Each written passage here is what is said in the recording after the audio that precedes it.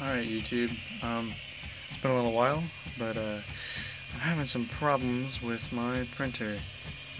Uh, I was just wondering if anyone out there could maybe diagnose what's wrong. Um, and the problem is, right now as you can probably see very apparent, the printer is stopping and making very subtle jerky movements um, when it does infill. When it does perimeters, it goes to standard, uh, and it's at 60 millimeters per second. Um, but right now it's hardly moving and it's just not, it doesn't work. Um, I'll get crummy prints like this um, with lots of bubbles on the side and some layers just won't even print as you see here can get the focusing on this. Probably won't focus on that, but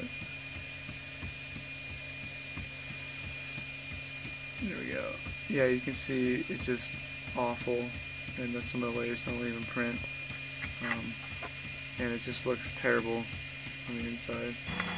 Um, I wasn't having this problem before, but then I updated Repetier, and I got this problem.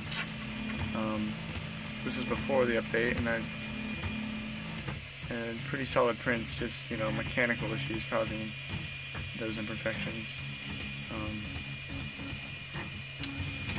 uh, this one was also printed with the that was also printed with the faulty repetier. Um, but I, I, managed to narrow down to not be an issue with repetier. Um, it's something with Slic3r. Um, so I tried Cura and KissSlicer and several other slicing softwares, and they work great, but I don't want to waste time uh, calibrating all those other softwares to to my printer. Uh, it's, I'm not very experienced with any of the other softwares other than Slic3r, so when Slic3r's not generating code right, it's kind of uh, annoying. Um, and I don't know enough about code to really pick out in the G code what would be wrong with it. Um, but this goes, it does this problem for every single print, uh, no matter what it is. Um, right now, this is just a, a piece of a Boba Fett helmet that I'm going to be building. Um, there's a cardboard one I made. Um, but anyways, that's if any of you know what's what's wrong with it, um, I've checked the baud rate um, and I've checked the uh, the uh, the jerk settings.